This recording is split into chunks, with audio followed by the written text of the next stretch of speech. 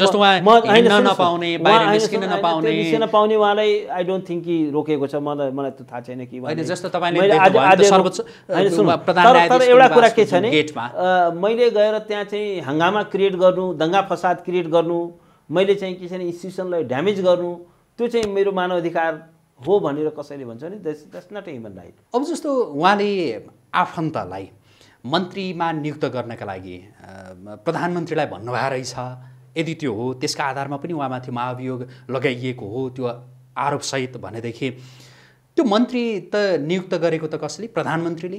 होइन? प्रधानमन्त्रीका विरुद्धमा चाहिँ नि यो साँच्चै संसदमा त्यो एक खालका सांसदहरू जो विवेक भएका सांसदहरू थिए भनेदेखि प्रधानमन्त्रीमाथि नै यो अविश्वासको प्रस्ताव या अरू कुनै दर्ता हुन सक्ने त्यो केस चाहिँ हो कि होइन? यसमा यसमा यो यो मामलामा नि यो मामलामा एकैछिन है। जस्तो उहाँले चोलेन्द्र शमशेर जबराले सिफारिस मात्रै गर्नुभयो थियो भनेदेखि एउटा कुरा हुन्थ्यो। प्रधानमन्त्रीले त उहाँले नियुक्त गरिदिनु भयो। मन्त्री नै होइन? On the part of prime minister यो चाहिँ सिरियस चाहिँ गल्ती हो गम्भीर गल्ती हो। सो ती नजिरहरूलाई आधार मानेर पनि अहिले जुन चोलेन्द्र शमशेर जबरा विरुद्ध यो संसदमा जुन महाभियोग प्रस्ताव दर्ता भएको थियो यसले टुङ्गोमा पुर्याउन सकेन। यो अर्को संसद अब निर्वाचित हुने संसदमा सर्छ भनेर ती नजिरहरूलाई आधार मानेर भन्न सकिने एउटा भयो होला होइन? अर्को हाम्रै देशको जुन संविधानले यो एउटा संसदमा टुङ्गोमा पुग्न नसकेको यस्ता महाभियोग सम्बन्धी प्रस्ताव अर्को संसदमा सर्न सक्ने त्यसको कुनै स्पष्ट व्यवस्था त्यस्तो त गरेको छैन होला होइन? संविधानले अब नमस्कार आदरणीय दर्शकवृन्द आजको प्रेसको यो अर्को एउटा विशेष संवादमा यहाँहरूलाई धेरै स्वागत छ म रोहित भण्डारी। दर्शकवृन्द प्रतिनिधि सभाका सदस्यहरूको कार्यकाल सकिसकेपछि अब आफू सर्वोच्च अदालतमा फर्कन पाउनु पर्ने भन्दै सर्वोच्च अदालतका निलम्बित प्रधान न्यायाधीश चोलेन्द्र शमशेर जबराले जुन प्रकारको जिकिर गरिरहनु भएको छ यसलाई लिएर विभिन्न खालका टिका टिप्पणीहरू भइरहेका छन्। कतिपयले भनेका छन् कि निलम्बित प्रधान न्यायाधीश चोलेन्द्र शमशेर जबरा सर्वोच्च अदालत फर्कन पाउनुहुन्न र उहाँले प्रधान न्यायाधीशका रूपमा त्यहाँ काम गर्न पाउनुहुन्न। अनि कतिपयले भनिरहेका छन् कि उहाँ फर्कन पाउनुहुन्छ। किनकि प्रतिनिधि सभाका सदस्यहरूको कार्यकाल नै सकियो र ती प्रतिनिधि सभाका सदस्यहरू जसले उहाँका विरुद्धमा संसदमा महाअभियोग प्रस्ताव दर्ता गरेका थिए। अब प्रतिनिधि सभाका सदस्यहरूको कार्यकाल नै सकिसकेपछि त्यो महाअभियोग प्रस्ताव पनि निष्क्रिय भएको छ त्यसैले उहाँ फर्किन पाउनुहुन्छ भनेर भनिरहेका छन्। वास्तवमा अहिले देशमा जे भइरहेको छ यो के हो? यसले के सङ्केत गर्छ र अब के हुन सक्छ? हामी यही विषयको सेरोफेरोमा केन्द्रित रहेर कुराकानी गर्दैछौँ। यसका लागि यति बेला हामीसँग स्टुडियोमा हुनुहुन्छ वरिष्ठ अधिवक्ता डाक्टर दिनेश त्रिपाठी। उहाँलाई म स्वागत गर्छु। स्वागत छ यहाँलाई। धन्यवाद। आराम हुनुहुन्छ? हजुर। निलम्बित प्रधान न्यायाधीश चोलेन्द्र शमशेर जबरा सर्वोच्चमा फर्कन पाउने या नपाउने भन्ने विषयले यति बेला देश नै त्यो तरङ्गित बनेको अवस्था छ। उहाँ फर्कन किन नपाउने यदि नपाउने हो भने मैले त्यहाँबाट कुराकानी सुरु गरेँ। अब पहिलो कुरा त के हो भने संविधानले एउटा महाभियोगको प्रस्ताव दर्ता भइसकेपछि र त्यसको टुङ्गोमा टुङ्गो नलागिसकेसम्म कुनै पनि व्यक्ति कुनै पनि हाई कन्स्टिट्युसन फङ्सनरी किनभने संविधानको धारा एक सय एकले हाई कन्स्टिट्युसन फङ्सनरिजहरूलाई महाभियोग लाग्न सक्ने इम्पिचमेन्ट लाग्न सक्ने त्यो बन्दोबस्त गरेको छ। यदि त्यो पदाधिकारीले संविधानको बर्खिलाफमा काम गर्यो खराब आचरण देखियो भ्रष्टाचार देखियो भने त्यहाँ त्यो धारा आकर्षित हुन्छ। अब अहिले उहाँमाथि न्यायिक न्यायिक विचलन गरेको आरोप छ। त्यो कारणले उहाँलाई चाहिँ महाभियोग चाहिँ लगाइयो प्रस्ताव दर्ता भयो।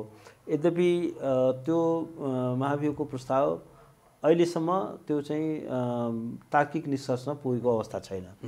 यही बिचमा के भइदियो भने यो पार्लियामेन्टको जुन अवधि थियो त्यो अवधि चाहिँ समाप्त भयो। त्यसको कार्यकालै समाप्त भयो। जुन प्रतिनिधि सभाका सदस्यहरूले उनलाई महाभियोग लगाइए त्यो त्यसको चाहिँ कार्यकाल समाप्त भयो।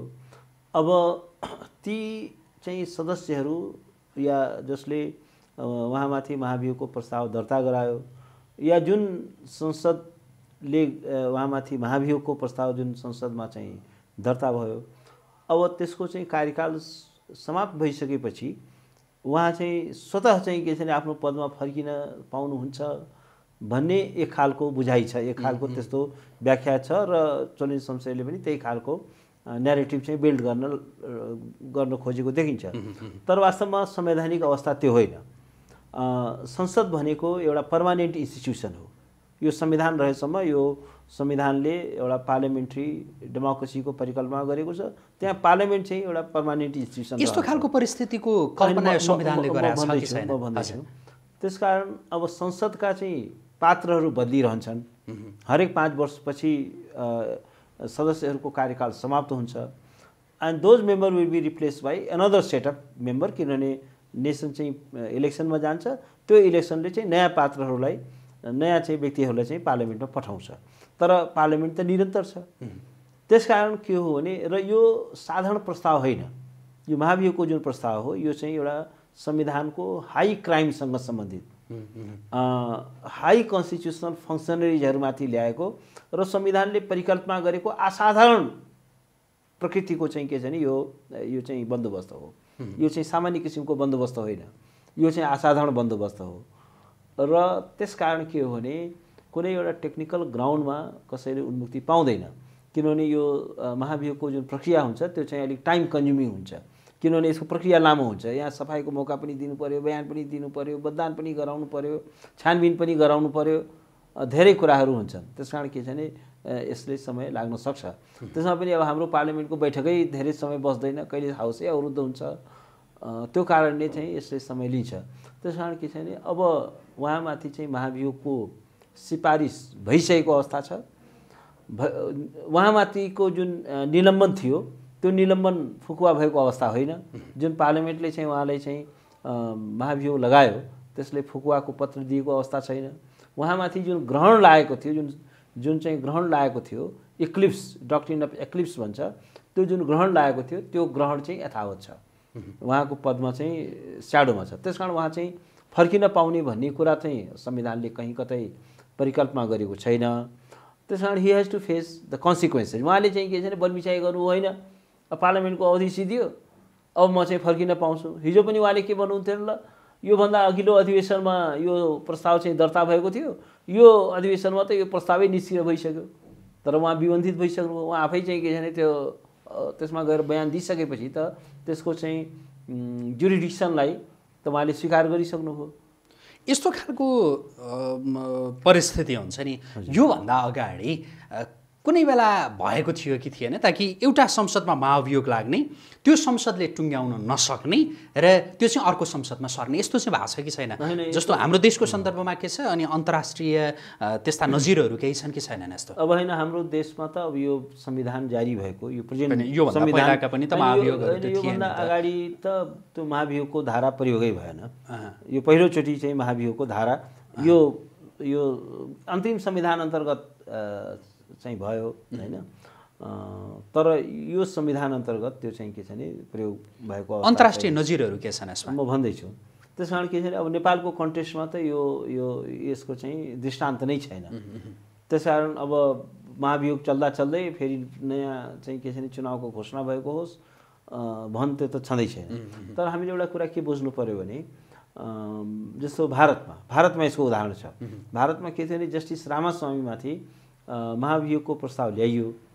उनले चाहिँ के हो भने राजस्थान हरियाणा हाइकोर्टको चाहिँ चिफ जज हुँदाखेरि उनले चाहिँ म्यासिभली के गर्यो भने अब चोलेन्दको जस्तो भ्रष्टाचार चाहिँ होइन तर उनले आफ्नो अफिसियल जुन रेजिडेन्स छ नि अफिसियल रेजिडेन्स त्यो आफ्नो व्यक्तिगत रेजिडेन्स छैन। अफिसको जुन क्वार्टर थियो त्यसमा त्यसको फर्निसिङमा चाहिँ म्यासिभ चाहिँ खर्च गरे। सारा फर्निचरहरू सोफाहरू जम्मै चेन्ज गरे व्यापक बिलहरू अनि देखाइयो। अनि त्यसले गर्दाखेरि बिल भन्दा नि त्यसमा धेरै खर्च भयो। भयो। त अब यहाँ मिडियामा के लजिक आयो भने ल यो गरिब देशको अब यत्रो चाहिँ के छ भने खर्च गर्ने। यो त पब्लिक फन्डको दुरुपयोग हो भनेर उहाँमाथि महाभियोग लगाइयो। मुद्दामा घुस खाएको भने उहाँको जस्तो छैन। चन्द्र शमशेर राणाको त के छ भने सिरिज अफ केसेसहरूमा उहाँले घुसै खाएर फैसला गर्नु हो लेनदेनको आधारमा फैसला गर्नु हो भन्ने कुरा आयो। तर रामास्वामीको हकमा त्यो थिएन। तर के थियो भने अब चन्द्रशेखर प्रधानमन्त्री भएको बेलामा त्यो हाउसमा चाहिँ महाभियोगको प्रस्ताव चाहिँ अगाडि बढ्यो। तर अब के हो भने त्यो बिचमा फेरि हाउस डिजल्भ हो र त्यो त्यो चाहिँ महाभियोगको प्रस्तावले चाहिँ के छ भने टुङ्गोमा पुग्न सकेन। तर जब नयाँ हाउस आयो त्यो नयाँ हाउसमा फेरि महाभियोगको प्रस्तावको बारेमा कुरा आउँदाखेरि सुप्रिम कोर्टमा यो च्यालेन्ज गरियो। कि होइन यो त पछिल्लो हाउसको हो अहिलेको हाउसले कहाँ त्यो कन्टिन्यू गर्न मिल्छ भन्दाखेरि इन्डियन सुप्रिम कोर्टको कन्स्टिट्युसनल बेन्चले के रुलिङ दियो भने यो चाहिँ एउटा असाधारण प्रस्ताव हो। पार्लियामेन्टको यो प्रेरोगेटिभ हो महाभियोग लगाउने र पार्लियामेन्ट्री एउटा जुन इन्स्टिट्युसन हो त्यसको निरन्तरता रहन्छ। त्यस कारण के छ भने त्यसको लेगेसी पनि कायम रहन्छ। र यो एउटा हाई क्राइमसँग सम्बन्धित विषय हो। र यस्तो हाई क्राइम चाहिँ सुड नट गो अनपनिस्ड त्यो अदण्डित रहनु हुँदैन भन्ने चाहिँ इन्डियन सुप्रिम कोर्टको कन्स्टिट्युसनल बेन्चको त्यो रुलिङ आयो। र त्यसपछि रामास्वामीमाथि इम्पिचमेन्ट मोसन त्यसपछिको हाउसले कन्टिन्यू गर्यो। तर भयो के भने अब दुई तिहाई पुगेन। त्यहाँ के भइदियो भने अब उनी दक्षिण साउथको ब्राह्मण कङ्ग्रेस आईले के लाग्यो भने सायद कङ्ग्रेस आईको पालामा उनी नियुक्त भएका थिए। उनीहरूलाई के लाग्यो भने कि हाम्रो त भोट ब्याङ्क साउथमा घट्छ भनेर चाहिँ के हो भने कङ्ग्रेस आईले त्यो महाभियोग प्रस्तावमा साथ दिएन। त्यो नदिएकोले दुई तिहाई पुगेन र प्रस्ताव फेल भयो। तर एउटा कुरा के थियो भने जस्टिस रामास्वामीले त्यसपछि चाहिँ रिजाइन गरे। रिजाइन गर्दाखेरि उनले के भन्यो भने न्यायाधीशको पद भनेको चाहिँ यो एउटा निष्पक्ष ढङ्गले त्यसको निष्पक्षतामाथि इम्पार्सियालिटीमाथि कहीँ प्रश्न उठ्नु हुँदैन। नभए उसले गरेका फैसलाहरू विवादास्पद हुन्छन्। र त्यो कुरा चाहिँ न्यायको हितमा हुँदैन। न्यायपालिका चाहिँ एउटा पब्लिक ट्रस्टमा अडेको हुन्छ। त्यस कारण न्यायपालिकाको हाई ट्रेडिसनलाई विचार गर्दै अब म चाहिँ पदमा बसिरहनु उचित हुँदैन भन्ने उसले रिजाइन गरे। अब हाम्रो सुनिल शमशेर त कुनै पनि हालतमा राजीनामा त उहाँ चाहिँ गर्न तयारै हुनुहुन्न अब जस्तो उहाँको उहाँको त्यो नजिर हेर्दाखेरि एउटा। संसदबाट जस्तो- सरेको छ होइन? ट्रम्पकै पनि। ट्रम्पको त नयाँ इलेक्सन आएपछि फेरि अर्को पार्लियामेन्टले कन्टिन्यू गर्यो नि त। अर्को चाहिँ कङ्ग्रेसले गर्यो नि होइन? जस्तो ती नजिरहरूलाई आधार मानेर पनि अहिले जुन चोलेन्द्र शमशेर जबरा विरुद्ध यो संसदमा जुन महाभियोग प्रस्ताव दर्ता भएको थियो यसले टुङ्गोमा पुर्याउन सकेन। यो अर्को संसद अब निर्वाचित हुने संसदमा सर्छ भनेर ती नजिरहरूलाई आधार मानेर भन्न सकिने एउटा भयो होला होइन? अर्को हाम्रै देशको जुन संविधानले यो एउटा संसदमा टुङ्गोमा पुग्न नसकेको यस्ता महाभियोग सम्बन्धी प्रस्ताव अर्को संसदमा सर्न सक्ने त्यसको कुनै स्पष्ट व्यवस्था त्यस्तो त गरेको छैन होला होइन? संविधानले अब सबै कुरो चाहिँ निटी ग्रिटी जम्मै कुरो लेख्दैन। संविधानहरू के हो के हो भने यो सज्जनहरूका लागि बनाइएको चाहिँ दस्तावेज हो।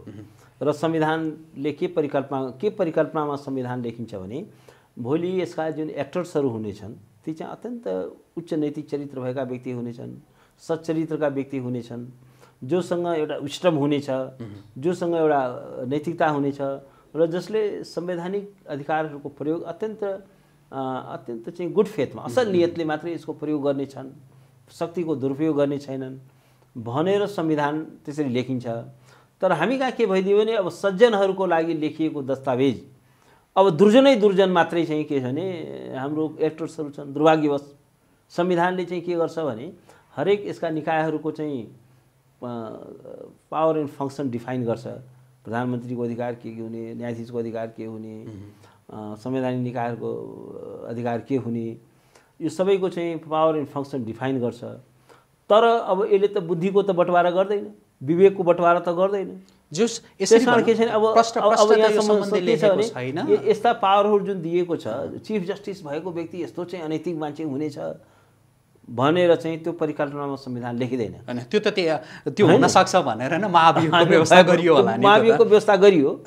त्यो अनैतिक हुन सक्छ भन्ने एउटा होइन सुन्नुहोस् न त्यही पनि एउटा एउटा अ, त्यो पनि महाभियोगको प्रस्तावमा चाहिँ दुई तिहाई राखियो। यसको चाहिँ जटिल बनाइएको छ नि यो प्रक्रिया। सामान्यतया के छ भने महाभियोगको यो चाहिँ एउटा यो चाहिँ जेनरल रेमेडी होइन। यो चाहिँ साधारण रेमेडी होइन। असाधारण रेमेडी हो। सामान्यतया के छ भने पास गराउनै नि गाह्रो हुन्छ यो। दुई तिहाई पुर्याउनु पर्यो। सारा चाहिँ चार्ज सिटहरू जम्मै चाहिँ के छ भने प्रुभ हुनु पर्यो। त्यस कारण के छ भने सामान्यतया एउटा असाधारण एक्स्ट्रा अर्डिनरी जस्तो भन्नुहोस् न खास गरी चिफ जस्टिसको बारेमा एउटा र अरू हाई फङ्सनरिजहरूको बारेमा एकदमै एक्स्ट्रा अर्डिनरी मेजर्स रिमुभलको लागि साधारण प्रक्रियाद्वारा हटाउन मिल्ने राखिएन नि। किनभने उनीहरूलाई उनीहरूको चाहिँ निष्पक्षता उनीहरूको नैतिकता उनीहरू त्यो प्रभावित नहोस् उनीहरूको निष्पक्षता प्रभावित नहोस् भनेर त्यो प्रिजम्सनमा राख्यो। तर त्यो चाहिँ एउटा एक्सेप्सनल सिचुएसन हो। तर हामी कहाँ के भइदियो भने अब एक्सेप्सन नै रुल भइदियो। अपवाद नै चाहिँ के छ भने exception has become rule rule has become exception जस्तो के। कानुनको पालना गर्ने कुनै मान्छे अपवाद छ भनेपछि त्यो चाहिँ एक्सेप्सन हो। फलाना चाहिँ के छ भने प्रधानमन्त्री त कस्तो इमान्दारी छ। फलाना मन्त्रीले त घुसै खाँदैन भनेपछि त्यो चाहिँ ठुलो एक्सेप्सन भयो नि त। सामान्यतया नाइन्टी नाइन पर्सेन्ट मन्त्रीले घुस खान्छ। एउटाले घुस खाने नखाने भयो हो भएन भएन। भयङ्कर तगडा मान्छे रहेछ यो त घुस खाँदैन त्यस कारण के हो भने सामान्यतया मन्त्रीले हाई फङ्सनरिजहरूले घुस खाँदैनन् भन्ने परिकल्पना हुन्छ।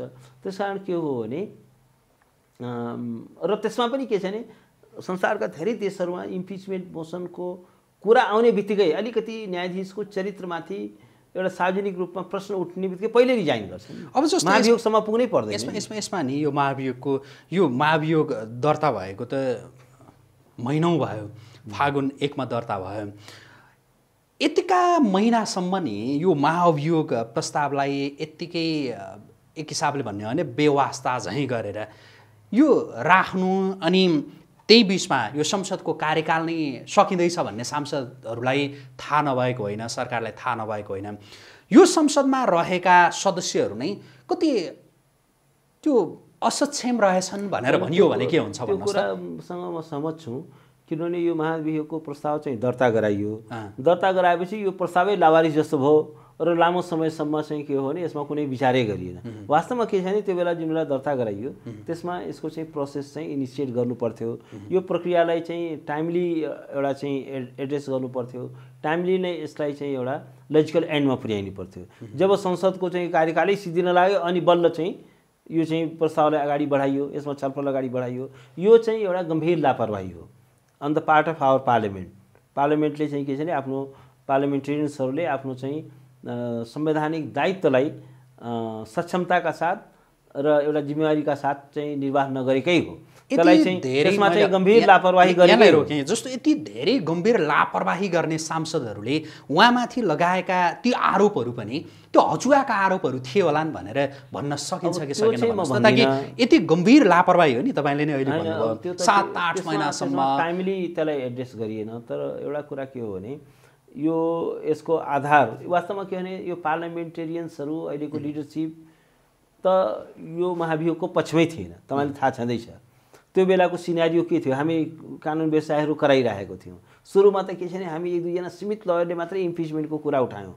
मैले त सबभन्दा सुरुमा जुन बेला यो संवैधानिक नियुक्तिहरूमा जब चोलेन शमशेर राणाले आफ्ना मान्छेहरू नियुक्त गराए त्यो बेला नै मैले प्रश्न उठाएको थिएँ कि उहाँलाई चाहिँ इम्पिच गर्नुपर्छ।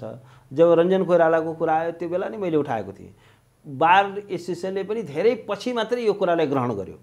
यो कुराले फ्लेरअप त्यो बेला अलिकति फेरि यो प्रश्नलाई मैले गम्भीरताका साथ हामीले उठायौँ। सीमित कानुन व्यवसायले जुन बेला फेरि उनको आफ्नो मान्छेलाई क्याबिनेटमा मन्त्रीमा नियुक्त गरायो त्यो बेला त्यो बेला पनि बार एसोसिएसनसँगै यसमा आएको थिएन। बार एसोसिएसन त धेरै पछि आयो जोइन गर्यो। त्यसपछि अब एउटा जब धेरै ठुलो यसले मोमेन्टम लिइसकेपछि अनि बल्ल चाहिँ के छ भने हाम्रो पोलिटिसियन्सहरूको अलिकति चाहिँ के छ भने अलिकति यो विषयमा हेक्का आयो। र भन्नुहोस् न हाम्रो आन्दोलन कहिलेदेखि सुरु भएको थियो? फागुन एक गते मात्रै दर्ता भयो नि त। त उनीहरूको वास्तवमा पोलिटिसियन्सहरू चाहँदैथे किनभने उनीहरूको आफ्नै चाहिँ के छ भने चोलिनसँग धेरै कुरामा खरिद बिक्रीमा आफै इन्भल्भ भएका व्यक्तिहरू छन् त्यहाँ।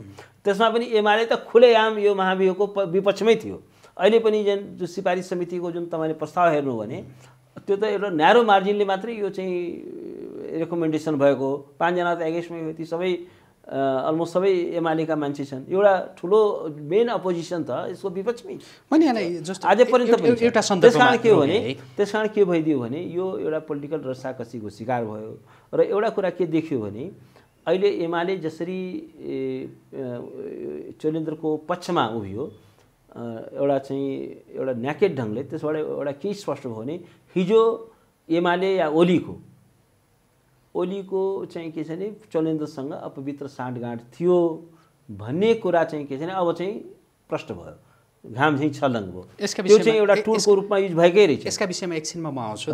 अघि यहाँले एउटा एउटा सन्दर्भ जोड्दै हुनुहुन्थ्यो जस्तो एकजना आफन्त नातेदारलाई मन्त्रीमा नियुक्तिका लागि चोलेन्द्र शमशेरले जो भन्नुभयो तत्कालीन जो प्रधान न्यायाधीशले भन्ने सन्दर्भ। अब जस्तो उहाँले आफन्तलाई मन्त्रीमा नियुक्त गर्नका लागि प्रधानमन्त्रीलाई भन्नुभएको रहेछ। यदि त्यो हो त्यसका आधारमा पनि उहाँमाथि महाभियोग लगाइएको हो त्यो आरोपसहित भनेदेखि त्यो मन्त्री त नियुक्त गरेको त कसले प्रधानमन्त्रीले? होइन? प्रधानमन्त्रीका विरुद्धमा चाहिँ नि यो साँच्चै संसदमा त्यो एक खालका सांसदहरू जो विवेक भएका सांसदहरू थिए भनेदेखि प्रधानमन्त्रीमाथि नै यो अविश्वासको प्रस्ताव या अरू कुनै दर्ता हुन सक्ने त्यो केस चाहिँ हो कि होइन? यसमा यसमा यो यो मामलामा नि यो मामलामा एकैछिन है। जस्तो उहाँले चोलेन्द्र शमशेर जबराले सिफारिस मात्रै गर्नुभयो थियो भनेदेखि एउटा कुरा हुन्थ्यो। प्रधानमन्त्रीले त उहाँले नियुक्त गरिदिनु भयो। मन्त्री नै होइन? On the part of prime minister यो चाहिँ सिरियस चाहिँ गल्ती हो गम्भीर गल्ती हो। यो चाहिँ यसरी प्रधान न्यायाधीशको मन्त्री परिषदमा कोटा निर्धारण गर्नु प्रधान न्यायाधीशले भनेको मान्छेलाई चाहिँ मन्त्री बनाउनु यो चाहिँ गम्भीर चाहिँ राजनीतिक गल्ती हो। शेरबहादुर देउबाको गल गल्ती हो। एकदम। त्यो बेलाको चाहिँ शेरबहादुर देउबा जो जो जिम्मेवार छन्। जस प्रधानमन्त्रीले प्रधानमन्त्रीकै गम्भीर- त्यसलाई चाहिँ? हामीले लुकाउने छौँ भन्ने कुरा केही छैन। सिरियस चाहिँ के छ भने पोलिटिकल चाहिँ यो मिस्टेक हो। गल्ती चाहिँ हो। सिरियस पोलिटिकल रङ हो। मिस्टेक भन्दा नि मैले यहाँलाई सोधेँ। जुन अघि साँठगाँठको कुरा गर्दै हुनुहुन्थ्यो नि ओलीसँग देउबासँग पनि त साँठगाँठ त रहेछ नि त होइन? जस्तो। सडकबाट एक खालको दबाब भयो तपाईँहरूले दबाब दिनुभयो त्यो भइसकेपछि बाध्य भएर उहाँले राजीनामा दिनुभयो त्यो एउटा पाटो रह्यो प्रधानमन्त्रीले दबाब दिनुभयो होला एउटा पाटो रह्यो। तर अहिले ओलीसँगको जुन साँठगाँठ चोलेन्द्र शमशेरको भनेर भनिरहँदा देउबासँग पनि त रहेछ नि त यदि त्यो साँठगाँठ हुँदैन थियो भने त शेरबा सुन्नु न शेरबहादुर देउबाले भन्न सक्नुहुन्थ्यो नि त। जस्तो प्रधान न्यायाधीशले यसरी सिफारिस गर्नुभएको छ मलाई दबाब दिनुभएको छ म नियुक्त गर्दिनँ भनेर मिडियामा भन्न सक्नुहुन्थ्यो होला भने यसमा ओली प्रचण्ड या कोही भन्दा पनि यो देशका सबै राजनीतिक दलका प्रमुख नेताहरू यदि चोलेन्द्र शमशेरलाई नैतिकिन भन्ने हो भनेदेखि त्यति नै नैतिकिन मान्छेहरू रहेछन् भनेर। भन्न सकियो कि सकिएन तपाईँको प्रश्न बुझेँ। त्यसमा it is a serious political wrong हो। प्राइम मिनिस्टरले चाहिँ के हो भने यो दुईवटा कुरा एउटा त मेम्बर अफ पार्लियामेन्टै नभएको व्यक्तिलाई चाहिँ बनाउनु। त्यसमा पनि एउटा चाहिँ प्रधान न्यायाधीशको कोटा निर्धारण गर्नु र त्यसले के गर्छ भने शक्ति पृथ्वीकरणलाई चाहिँ कमजोर गर्छ। त्यो चाहिँ एउटा संविधानले यस्तो कुराको परिकल्पना गर्दैन। र त्यसमा पनि के छ भने अब प्रधानमन्त्री त एउटा पोलिटिकल पोस्ट हो उनको पार्टमा त सिरियस पोलिटिकल रङ हो। तर न्यायाधीश भनेको त ऊ त कुनै पनि तरिकाले पोलिटिक्समा इन्भल्भै हुनु हुँदैन। न्यायाधीशको पार्टमा त त्यो त त्यो त झन् ठुलो ड्यामेजिङ हो नि त। न्याय न्यायाधीशले गएर पोलिटिसियनलाई चाहिँ के छ भने भाग खोज्नु त्यो झनै ड्यामेज हो। त्यसमा पनि के छ भने अब कपाल अफ व्यक्तिहरू मेम्बर अफ पार्लियामेन्ट नै नभइकन मन्त्रीहरू भयो अरूको पात्र पनि भयो होइन? अब कानुन मन्त्री नै कानुन मिचेर संविधान मिचेर मन्त्री बनाइए। छ महिनाको प्रावधान के हो? जसलाई पनि ल्याएर छ महिनाको लागि बनाइदिने भने होइन। छ महिनाको जुन यो प्रावधान हो त्यो प्रावधानको अर्थ के हो भने कुनै व्यक्ति राष्ट्रको लागि अत्यन्त अपरिहार्य छ। त्यो विषयमा अर्को कसैले कुनै एक्सपर्टिज अरू कुनै व्यक्तिसँग त्यस्तो एक्सपर्टिज छैन। जस्तो भारतमा चाहिँ मनमोहन सिंहलाई बनाइयो। किनभने इन्डियाको चाहिँ के छ इकोनोमिक एउटा कोल्याप्सको स्थितिमा पुगिसकेपछि India was economically verge of कोल्याप्सको स्थितिमा चाहिँ मनमोहन सिंहलाई बनाइएको थियो। अब र तर विदिन सिक्स मन्थ चाहिँ के छ भने त्यो मेम्बर अफ पार्लियामेन्ट बनाइन्छ। अब जुन व्यक्तिलाई छ महिना बितिसक्यो मेम्बर अफ पार्लियामेन्टै बनाइएन भनेपछि सडकबाट टिपेर कुनै व्यक्तिलाई चाहिँ चाहिँ के छ भने छ महिनासम्म मन्त्री बनाउनुको लागि त्यो प्रावधान राखिएको होइन। र त्यसमा चाहिँ के हो भने अरू पनि coalition partner all are equally responsible होइन? त्यस कारण त्यो त एउटा भयङ्कर ठुलो मिस्टेक हो। तर अब यहाँ प्रश्न के छ भने हाम्रो कन्सर्न म चाहिँ एउटा कानुन व्यवसायी भएको नाताले हाम्रो चाहिँ बढी चिन्ताको विषय चाहिँ के छ भने हाम्रो प्रधान न्यायाधीशले त पोलिटिसियन्सहरूको दबावमा काम गर्नु भएन नि। जस्तो भन्नुहोस् न सर्वोच्च अदालत धेरै पहिला एउटा मुद्दामा के बोल्यो भने न्यायपालिका चाहिँ के हो भने एउटा न्याय न्यायपालिका एउटा माउ हो कार्यपालिका एउटा चिल हो। त चिलले के गर्छ भने त्यो त्यो चल्लाहरूलाई चाहिँ झम्टिन खोज्छ खान खोज्छ। तर चाहिँ के छ भने न्यायपालिका एउटा यस्तो माउ हो जसले चाहिँ पखेटा फिजाएर आफ्ना चल्लाहरूको रक्षा गर्छ भनेर धेरै वर्ष अगाडि हरिप्रसाद प्रधानले चाहिँ एउटा मुद्दामा बोलेका थिए। न्यायपालिकाको भूमिका भनेर नाउ न्यायपालिका के हो भने जसरी माउ हो त्यो। आफ्नो बच्चाको कसरी त्यो रक्षा गर्छ। कार्यपालिकाको त जहिले पनि टेन्डेन्सी हुन्छ संविधानलाई मिच बिच्न खोज्छ ओभर स्टेप गर्न खोज्छ त्यो एउटा पार्ट हो। तर जुडिसियरीको त त्योभन्दा लार्जर रेस्पोन्सिबिलिटी छ नि। जुडि कार्यपालिकाले गरेका गैर कानुनी कार्यलाई गैर संवैधानिक कार्यलाई स्वेच्छाचारी कार्यलाई बदनियतपूर्ण तरिकाले गरिएका कार्यलाई न्यायपालिकाले के गर्छ भने त्यसलाई चाहिँ क्वास गर्छ त्यसलाई बदर गर्छ र त्यसलाई चाहिँ एउटा संवैधानिक सीमा र अनुशासनभित्र बस्नलाई बाध्य बनाउँछ। त्यस कारण के छ भने न्यायपालिकाको त रेस्पोन्सिबिलिटी धेरै ठुलो छ नि। तपाईँ एउटा चिनीको काम चाहिँ नुनिलो हुनु हो सुगरको काम चाहिँ गुलियो हुनु हो अब चाहिँ सुगरले आफ्नो गुलियोपना नै गुमायो भने अब तपाईँले गुलियोपना खोज्न कहाँ जानुहुन्छ? सोर्स अफ स्विटनेस के हो भने सुगर हो। अब सुगर नै पिरो हुन थाल्यो सुगर चाहिँ के छ भने नुनिलो हुन थाल्यो सुगर चाहिँ टर्रो हुन थाल्यो अनि चाहिँ स्विटनेस कहाँ खोज्नुहुन्छ? चिनीको काम चाहिँ। तपाईँको के हो भने नुनिलो हुनु हो चिनीले त्यस कारण न्यायपालिकाले चाहिँ कहिले पनि आफ्नो धर्म चाहिँ निर्वाह गर्नु गर्नु जहिले पनि आफ्नो धर्म निर्वाह गर्नुपर्छ। न्यायपालिका आफ्नो धर्मबाट च्युत भयो भने चाहिँ कार्यपालिका चाहिँ स्वेच्छाचारी त हुन्छ नै। झन् त्यहाँ कुनै पनि सेफगार्ड नै हुँदैन नि। कार्यपालिकाको स्वेच्छाचारिताले कसले चाहिँ नियन्त्रित गर्छ? कुनै पनि इन्स्टिट्युसन हुँदैन। यो महाभियोग सिफारिस समितिमा चोलेन्द्र शमशेर जबरा बयानका लागि जानुभयो केही दिन होइन? त्यहाँ उहाँले जस्ता विषयहरू भनौँ न एक हिसाबले भन्ने हो भनेदेखि त्यहाँ राजनैतिक दलका नेताहरूको पनि नाम लिइदिनु भयो न्यायाधीशहरूको पनि अधिवक्ताहरूको पनि। अनि उहाँको त्यो बयान सुनिरहँदा तपाईँ एकजना वरिष्ठ अधिवक्तालाई त्यो चसक्क चसक्क मैले यस अर्थमा चसक्क भने कि नेता पनि जोडिएका रहेछन् होइन? न्यायाधीशहरू पनि रहेछन् अधिवक्ताहरू पनि रहेछन्। हामीले त त्यही प्रधान न्यायाधीश मात्रै खराब नैतिकिन् भनेर सोचेका थियौँ भन्ने चाहिँ लाग्यो कि लागेन। होइन तर म एउटा कुरा के भन्छु भने चोलिन शमशेरको जुन कुरा आयो त्यो चाहिँ एकाङ्गी छ। पहिलो कुरा त के हो भने उनले चाहिँ आफूले जुन नियुक्त गराएका खराब न्यायाधीशहरू थिए असक्षम र भ्रष्ट न्यायाधीशहरू थिए जसको योग्यता पनि पुग्दैन थिए। र सुप्रिम कोर्टमा not only in high court but also in supreme court सर्वोच्च अदालतमा पनि। र जसलाई चाहिँ उनले सारा घुसको क्रियाकलापमा मतियारको रूपमा प्रयोग गर्थे ठुल्ठुला चाहिँ पैसा आउने मुद्दाहरू उनीहरूको कि त उनले आफ्नो बेन्चमा राख्थे कि चाहिँ त्यो आफ्नो चाहिँ मतियारहरूको चाहिँ यस मैनको बेन्चमा राख्थे र करोडौँ अर्बौँ रुपियाँको चाहिँ के छ भने दोहन गर्थे। त ती व्यक्तिहरू कसैको नाम लिएनन् उनले? ती व्यक्तिहरूको पनि त नाम लिनु पर्थ्यो नि। उनले जुन न्याय क्षेत्रमा केही वकिलहरूलाई डेपुट गरेका थिए पैसा उठाउनलाई र मुद्दा मिलाउनको लागि ती वकिलको त नाम लिएनन् नि। होइन? त्यस कारण अब यो खालि के छ भने अब अहिले चोली चलन शमशेरलाई ग्लोरिफाई गर्नु कि उनले त बडा चाहिँ नाम लिए त नाम लिँदाखेरि चाहिँ उनले आफ्ना खास चाहिँ के छ भने चम्चाहरूको खास चाहिँ के छ भने चट्टा बट्टाहरूको किन नाम लिएनन् जो साँच्चीकै उनले कानुन व्यवसायीहरूमा पनि उनीहरूले ठुलो सङ्ख्यामा उनका बिचौलियाहरू थिए। र कानुन व्यवसायीभन्दा फरक व्यापारीहरूमा पनि उनीहरूको बेचौलिया उनका बिचौलियाहरू थिए र न्यायाधीशमा पनि उनका बेचौलियाहरू थिए र केही न्यायाधीशलाई चाहिँ उनले ठेक्का दिएका थिए। उनले चाहिँ के छ भने ल पाटनमा हाइकोर्टमा ल्याउने हो भने वर्षको यतिमा यो अदालत ठेक्का भयो।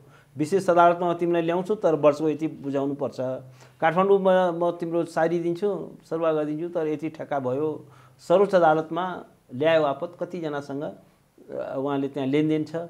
र असक्षम र भ्रष्ट व्यक्तिहरू अ, लाई चाहिँ उहाँले नियुक्त गर्नुभएको छ। तिनीहरूको नाम त लिनु भएन। ती पात्रहरू त सबैले चिनेको छ नि। ओपन सेक्रेट जस्तै छ नि। ओपन सेक्रेटको लिनु भएन जो केही सेक्रेट लिनु भएन अब एनिवे त्यस कारण के हो भने अब त्यो चाहिँ त्यसमा धेरै एउटा कुरा के हुन्छ भने अब फेरि अब त्यो उहाँको कुराको विश्वसनीयता कति छ? उहाँ आफै एउटा चाहिँ एउटा चाहिँ उहाँको आफ्नै क्यारेक्टर चाहिँ एउटा सिरियस कन्ट्रोभर्सीमा छ सिरियस क्वेसन मार्कमा छ। त्यसमा पनि उहाँले के गर्नु भने अब त्यो पनि एउटा सिप यो सिफारिस समितिको संसदीय समितिको एउटा असक्षमता कहाँ पनि देखिन्छ भने अब प्रश्न सोधेको छ उहाँलाई चाहिँ तिन घन्टासम्म एउटै प्रश्नमा भाषण गर्न दिएको छ। त्यो चाहिँ के हो भने त्यो चाहिँ बयान हो। त्यो चाहिँ के हो भने त्यो भाषण गर्ने मञ्च होइन। उहाँलाई चाहिँ भाषण गरेर त राम्रै भयो नि। जस्तो कतिपय जो जनताले थाहा नपाएका व्यक्तिहरू उहाँहरूका विषयमा पोल खोलिदिनु भयो आखिर त्यो पोल हुन्छ नि जसरी उहाँमाथि अहिले महाभियोग लगाइएको छ त्यो होला नहोला उहाँ। प्रमाणित होला नहोला एउटा छ त्यसै गरी उहाँले। जजसको नाम लिनुभयो। प्रमाणित होला नहोला महाभियोगको प्रस्तावको।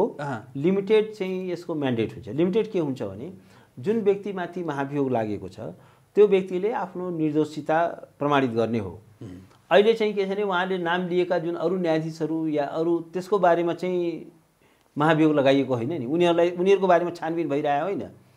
त्यो तिनीहरूको बारेमा छानबिन गर्न पर्यो भने छुट्टै छानबिन होला। तर अहिलेको महाभियोग त उहाँप्रति केन्द्रित छ नि त। अब उहाँले- के हो भने त्यसमा मैले के भन्छु भने ठिकै छ। उहाँले उहाँले चाहिँ चाहनुभयो भने ठिक छ जसको जसको नाम लिनु छ उहाँले छुट्टै एउटा प्रेस कन्फरेन्स गरेर पनि गर्न सक्नुहुन्छ। त्यो चाहिँ संसदीय फोरमलाई युज गर्ने होइन। ठिक छ उहाँलाई साँच्चीकै हिम्मत छ भने उहाँले अरूका बारेमा पनि पनि प्रेस कन्फरेन्स गर्न सक्नुहुन्छ। र जुन व्यक्तिलाई भन्नुहुन्छ उसले आफ्नो खण्डन गर्ला र त्यो व्यक्तिले चाहिँ उहाँमाथि गाली बेच्ती हाल्ला जे गर्ला त्यो उनीहरूको कुरा हो। तर त्यो कुरा त उहाँले गर्नु भएन। उहाँले चाहिँ पार्लिमेन्टको त्यो त्यो त्यो फोरमलाई त्यो एउटा स्पेसिफिक पर्पजको लागि बनाइएको। ठिक छ उहाँले पनि फ्रिडम अफ स्पिच छ। उहाँले पनि वाक तथा वाक स्वतन्त्रता छ उहाँले बोल्न पाउनुहुन्छ। तर के हो भने त्यो पार्लिमेन्ट्री फोरमलाई पार्लिमेन्टको त्यो एउटा स्पेसिफिक पर्पजको लागि गरिएको त्यो बयानलाई चाहिँ उहाँले एउटा चाहिँ त्यो साराको एउटा चाहिँ विरुद्धमा विश्वमन गर्ने त्यो एउटा त्यो चाहिँ एउटा फोरमको रूपमा युज गरेको त्यति त्यति एप्रुभेड भएन। उहाँले अहिले पनि म त उहाँले भन्छ ठिक छ। अब अहिले फेरि तपाईँ प्रेस कन्फरेन्स गर्नुहोस् न त। राख्नुहोस् न जसमाथि जे जे भन्नु। तपाईँको। प्रमाण राख्नुहोस् न फेरि। त्यतिकै कोरा स्टेटमेन्ट दिएर हुँदैन। र र एउटा कुरामा उहाँले पनि चाहिँ फुल ट्रुथ ल्याउनु पऱ्यो फुल पिक्चर ल्याउनु पऱ्यो उहाँले परिचालित गरिएका बिचौलिया न्यायाधीशहरू उहाँले ल्याएका भ्रष्ट न्यायाधीशहरू र उहाँले चाहिँ परिचालित गरेका चाहिँ भ्रष्ट कानुन व्यवसायीहरू बिचौलियाहरू व्यापारीहरू जग्गा दलालहरू जसलाई उहाँले परिचालित गर्नुभएको छ तिनीहरूको पनि त्यसको बारेमा पनि त बोल्नु पऱ्यो नि त। मैले यो यो कन्फेसन गर्नु पऱ्यो नि साबिती बयान दिनु पऱ्यो नि त। राष्ट्रलाई त उहाँले त्यसमा अब दुनियाँमा जस्तो अधिवक्ता अब दुनियाँमा दुनियाँमा उहाँले तपाईँहरूले नबोलेका व्यक्तिहरूका बारेमा उहाँहरूले उहाँले पोल खोलिरहनु भएको छ होइन? त्यो ठिक छ।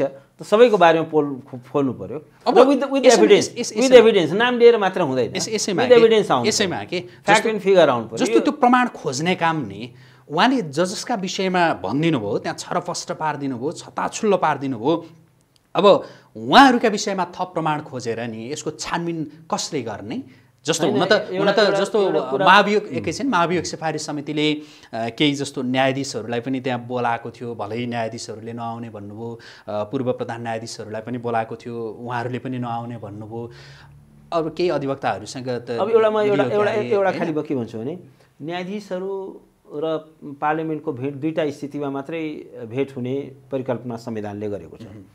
एउटा परिकल्पना के गर्यो भने संसदीय सुनवाईको दौरानमा मात्रै चाहिँ न्यायाधीश र चाहिँ मेम्बर अफ पार्लियामेन्टको भेट हुन्छ। त्यो चाहिँ एउटा कन्स्टिट्युसनले परिकल्पना गर्यो। अर्को के छ भने यदि कुनै न्याय जुन न्यायाधीशको विरुद्धमा महाभियोग प्रक्रिया जारी छ उसको ऊ चाहिँ औपचारिक रूपमा संसदमा अ, गएर बयान दिनुपर्ने हुन्छ जान जान पाउँछ। बाँकी चाहिँ के छ भने त्यो एउटा पोलिटिकल इन्स्टिट्युसन हो। त्यहाँ गएर चाहिँ के हो भने उनीमाथि त बाँकी न्यायाधीशमाथि त महाभियोगको प्रस्ताव त दायर भएको होइन नि। त उनीहरूमाथि महाभियोगको प्रस्ताव दायर भएको छैन भने औपचारिक रूपमा महाभियोगको प्रस्ताव दायर नभइकन चाहिँ के छ भने संसदमा जान उचित हुँदैन। त्यो त्यो ठिक हो। उचित हुँदैन। अनि त्यो महाभियोग सिफारिस समितिका मान्छेहरू जो जो थिए नि तिनीहरू नबुझ्ने हुन् कि या न्यायाधीशहरूलाई पनि बोलाएर तानेर पूर्व प्रधान न्यायाधीशहरूलाई बोलाएर त्यो आफ्नो दम्ब देखाउन खोज्या कि हामी एकदम बुझ्दै भन्न खोज्या कि यो के होला? कानुनकै पनि ग्रेजुएट छन् त्यस कारण मैले अब बुझ्दैनन् भनेर त कसरी भनौँ? त्यो चाहिँ टेक्निकली त्यो रङ हुन्छ।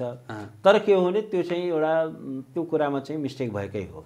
त्यो चाहिँ सिटिङ जजेजहरूलाई जसमाथि चाहिँ महाभियोगको प्रस्तावको सुनवाई भइरहेको छैन त्यसलाई चाहिँ पुर्जी काट्न मिल्दैन पत्र काट्न मिल्दैन। तिमी आऊ त्यसमाथि पुनरावेदन सुन्ने निकाय पनि होइन। त्यसमाथि चाहिँ अहिले छ उनीहरूमाथि कुनै महाभियोगको औपचारिक प्रक्रिया औपचारिक रूपमा प्रस्ताव दर्ता नभइकन कुनै पनि न्यायाधीशसँग चाहिँ अ, पार्लिमेन्टले सोधपुछै गर्न सक्दैन। त्यसलाई इन्ट्रोगेसनै गर्न सक्दैन। उसको बयानै लिन सक्दैन। अब अर्को स्थितिमा कि त संसदीय सुनवाई भएको हुनु पर्यो त्यो बेला अफकोर्स त्यसको चाहिँ एउटा न्यायाधीश कन्फर्मेसनको प्रोसेसमा उसले चाहिँ पार्लियामेन्ट्री हेरिङको प्रोसेसबाट कुराकानीको अन्त्य अन्त्यतिरसँग केही केही जिज्ञासा छन्। जस्तो अहिले त यो संसदबाट अर्को संसदमा सार्ने भनेर भनियो। तर चोलेन्द्र शमशेर जबराले त हिजो पनि आँट्नु भएको थियो सर्वोच्च फर्किनलाई र बजारमा के हल्ला छ भनेदेखि चार गते उहाँ फर्किनुहुन्छ भन्ने हल्ला पनि छ।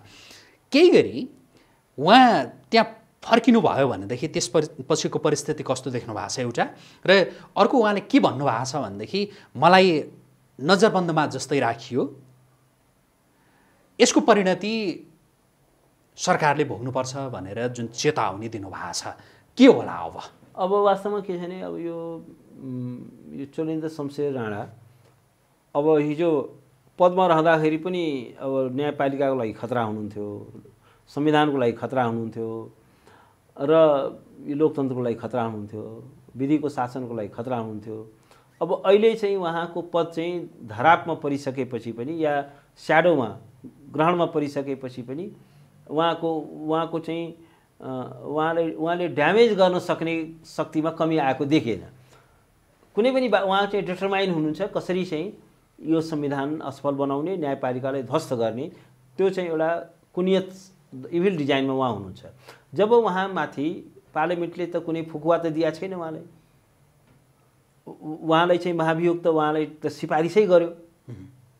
सिफारिस गर्यो र त्यसमा यो पनि भन्यो कि आउने पार्लियामेन्टले चाहिँ कन्टिन्यू दिनेछ पनि भन्यो। त्यसपछि निलम्बन पनि फुकुवा गरेन निलम्बनै जारी छ। भनेपछि अब उहाँले चाहिँ के कुरालाई आधार माने होइन म फर्किन्छु। अर्को कुरा के पनि बुझ्नु पऱ्यो भने उहाँ चाहिँ हिजो त कोर्टमा हुनुहुन्थ्यो नि। कोर्टमा त उहाँ त यो त फागुन एक गते न उहाँ उहाँमाथि महाभियोग दर्ता भयो। मङ्सिरदेखि नै उहाँले चाहिँ मुद्दा हेर्न पाउनुभएको थिएन। मङ्सिरदेखि नै कुनै पनि न्यायाधीशले तपाईँसँग हामी बस्दैनौँ है। तपाईँसँग चाहिँ हामी बेन्च सेयर गर्दैनौँ। उहाँलाई चाहिँ सर्वोच्चको कर कर्मचारीले प्रशासनले पनि उहाँले मद्दत गरेको थिएन। उहाँले कजलिस्टै तोक्न पाउनु भएन। सुरुमा त के हो भने अब एउटा सुनवाई नै बाधित भयो। सुनवाईको प्रक्रिया अगाडि बढ्न सकेन। पछि धेरै फुल फुल कोर्टले एउटा चाहिँ निष्कर्ष निकाल्यो। र त्यसपछि गोला प्रथाहरू सारा लागू भयो। भन्दाखेरि अब अहिले चाहिँ उहाँले चाहिँ के आधारमा जस्तो भन्नुहोस् न आज अहिले उहाँ उहाँ हिजो पनि बार एसोसिएसन उहाँको एगेन्स्टमा आन्दोलन गर्दै थियो। हिजो पनि बार एसोसिएसनले भन्यो कि हामी चाहिँ तपाईँको बाटो रोक्छौँ भन्यो। र सर्वोच्च प्रशासनले पनि उहाँले कुनै कोअपरेट गर्ने कुरा आउँदैन। त्यसपछि जजेसहरूले पनि उहाँसँग बेन्च सेयर गर्न कोही तयार छैन। भनेपछि उहाँ चाहिँ हाउस उहाँ चाहिँ सर्वोच्च अदालत आएर एउटा चाहिँ के छ भने एउटा अप्रिय स्थिति सृजना गर्ने एउटा भिडन्तको अवस्था सृजना गर्ने एउटा चाहिँ सर्वोच्च अदालतलाई एउटा चाहिँ त्यसको ड्यामेज गर्ने त्यसको क्रेडिबिलिटीलाई ड्यामेज गर्ने अर्को के उद्देश्य छ त? उहाँ आएर फेरि के मुद्दा सुनवाई गर्न पाउनुहुन्छ त? उहाँसँग अर्को कुनै न्यायाधीशले बेन्च सेयर गर्छ? के उहाँले चाहिँ चिठा तान्न पाउनु हुन्छ त? अहिले त चिठा प्रथामा गयो न्यायाधीशले चिठा तान्न दिन्छ। के त्यहाँको प्रशासनले उहाँलाई चिठा तान्न दिन्छ? के त्यहाँको अरू न्यायाधीशले उहाँलाई चिठा तान्न दिन्छ? त्यो प्रोसेसले उहाँले सहयोग गर्छ। भनेपछि म फर्किन्छु भने मतलब के हो भने उहाँले एउटा सिरियस कन्फ्रन्टेसन निम्त्याउन खोजेको जस्तो अब जस्तो उहाँले के गर्ने पाउनुहुन्न भने नि उहाँ त्यहाँ फर्किँदा चाहिँ के बिग्रिन्थ्यो र त्यो प्रधान न्यायाधीशको निवासमा नै उहाँलाई नजरबन्द जसरी त्यहाँ नजरबन्दवाला नेगेटिभ चाहिँ म सहमत छैन। जो उहाँलाई बाहिर निस्किन दिएन त्यो त- ल एन्ड अर्डरलाई ध्यानमा राख्दाखेरि के हो भने अब उहाँले चाहिँ के छ भने अब सर्वोच्च अदालत गएको भए त्यहाँ मुठभेड हुन्थ्यो रणभूमि हुन सक्थ्यो। र एउटा चाहिँ सर्वोच्च अदालत नै एउटा रणभूमि हुँदाखेरि त्यसले झन् ठुलो एउटा खतरा उपस्थित गर्न सक्थ्यो। त्यस कारण एउटा प्रिकसनरी प्रिकसन चाहिँ एउटा गरेको हो। त्यस कारण त्यसलाई नजरबन्द उहाँले आफै सोच्नु पर्दैन। अलिकति वास्तवमा उहाँले म सर्वोच्च अदालत फर्किन्छु भन्नु यो निर्लज्जताको पराकाष्ठा हो।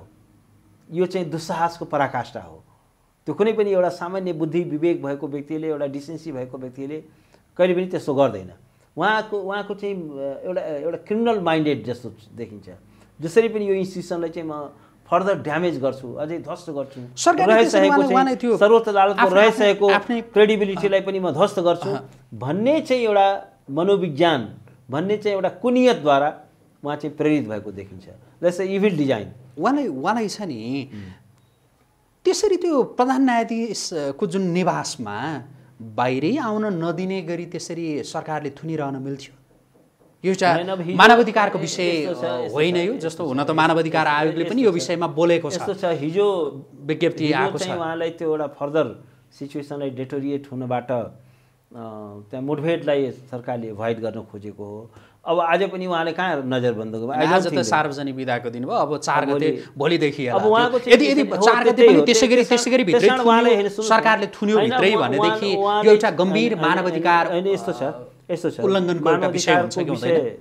चाहिँ के हुन्छ भने अब तपाईँले ठुलो दङ्गा फसाद क्रिएट गर्न खोज्नुभयो अनि मैले दङ्गा फसाद क्रिएट गर्न पाउनुपर्छ भने पनि कहीँ मानवाधिकार हुन्छ म चाहिँ के छ भने जस्तो म- उहाँ म- होइन, हिँड्न सुन्नुहोस् न। नपाउने, उहाँलाई आई डोन्ट थिङ्क कि रोकेको छ। मलाई मलाई त थाहा छैन कि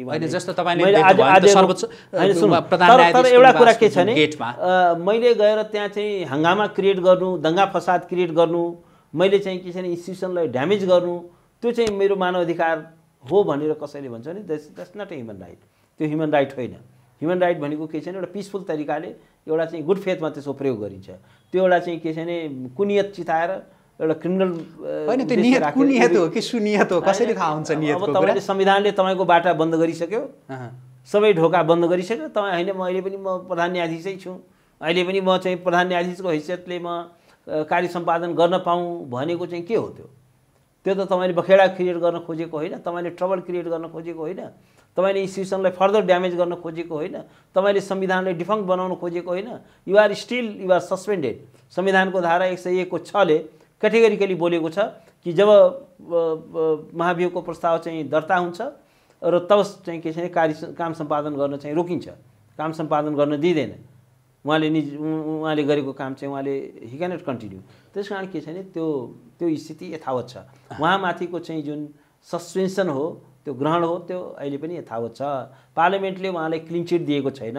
उहाँले उहाँको निलम्बनलाई फुकुवा गरेको छैन। त्यस कारण के छ भने उहाँले पनि एउटा संवैधानिक एउटा नैतिकताको पालना गर्नु पर्यो संविधानको चार किल्लाभित्र रहनु पर्यो र संविधानलाई चाहिँ ड्यामेज गर्ने त्यो त्यो चाहिँ अधिकार कसैले पनि छैन। त्यसलाई हाइज्याक गर्ने अधिकार अर्को अर्को हुन त बाहिर त्यति धेरै आएन। यद्यपि केही सञ्चार माध्यममा आएको थियो। सञ्चार माध्यममा आएको थियो। जस्तो राष्ट्रपतिले उहाँलाई प्रधान न्यायाधीशकै हैसियतमा उहाँ बोलाउनु भयो के भन्ने? यदि राष्ट्रपतिले उहाँलाई प्रधान न्यायाधीशकै हैसियतमा बोलाउने सरकारले यो खालको व्यवहार गर्ने अवस्था सृजना अब यस्तो छ अब राष्ट्रपतिको बारेमा अब लामो कुरा गर्नु पनि व्यर्थ छ। उहाँ चाहिँ के छ भने राष्ट्रपति भन्दा पनि एउटा एमालेको कार्यकर्ताभन्दा माथि उठ्न सकेको छैन।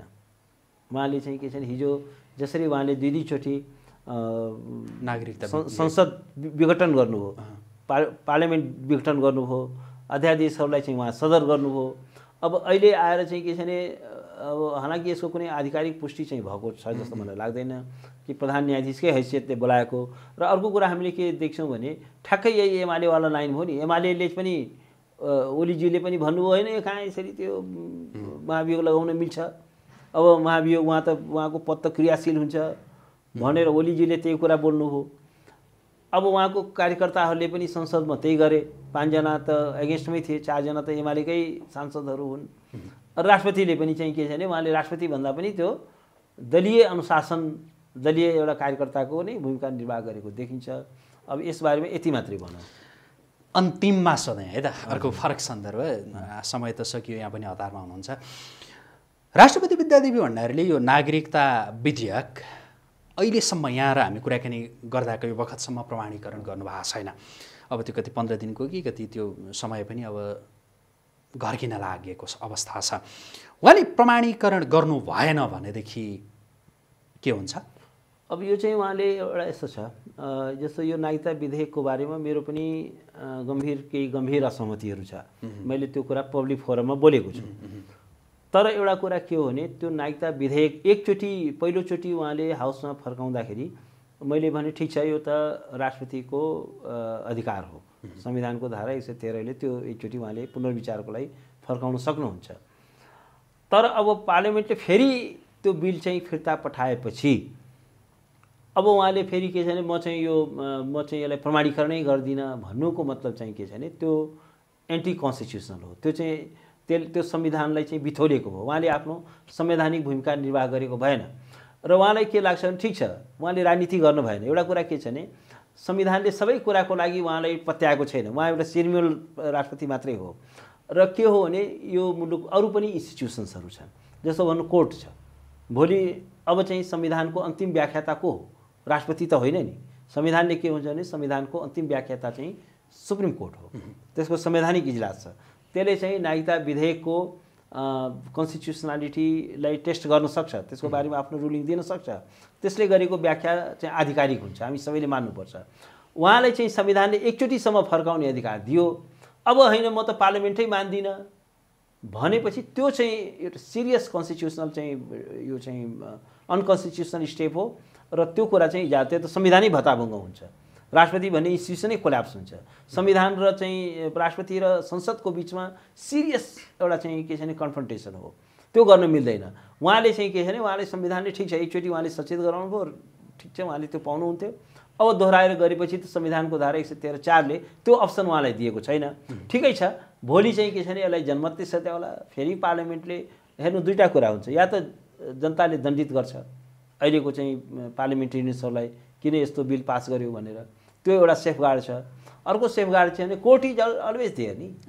जसले चाहिँ के छ भने हिजो संसदको विघटनलाई उहाँले त सच्याउनु भएन तर अदालतले सच्यायो नि। उहाँले नागरिकता विधेयकलाई त उहाँ अध्यादेशलाई त उहाँले यही यही अध्यादेशलाई त उहाँले आँखा चिम्लेर पढ्दैन पढिकन त उहाँले एप्रुभ गरेकै हो। कोर्टले रोक्या हो नि त। यो विषय नै अदालतमा जान सक्छ। हो अदालतमा जाला अदालतले हेर्ला। त्यस कारण अब उहाँले चाहिँ के छ भने त्यो गर्नु भनेको त्यो चाहिँ वास्तवमा चाहिँ के छ भने संविधानमाथिको गम्भीर धोखाधडी हो त्यो पाइँदैन। संविधानभन्दा माथि कोही पनि छैन। संविधानले जति पावर दिएको छ त्यति मात्रै एक्सर्साइज गरौँ। हुन्छ। आजको लागि कुराकानी यति गरौँ। समय दिनुभयो। यहाँलाई आजको प्रेसका तर्फबाट धेरै धन्यवाद। धन्यवाद। हस्। आदरणीय दर्शकवृन्द हामी कुराकानी गरिरहेका थियौँ। वरिष्ठ अधिवक्ता डाक्टर दिनेश त्रिपाठीसँग उहाँसँगको यो कुराकानीसँगै आजको प्रेसको विशेष संवाद अहिलेका लागि यहीँ सकिन्छ। पल पलको अपडेट ताजा बहस र विश्लेषणात्मक टिप्पणीका लागि आजको प्रेस हेर्दै गर्नुहोला। नमस्कार। Música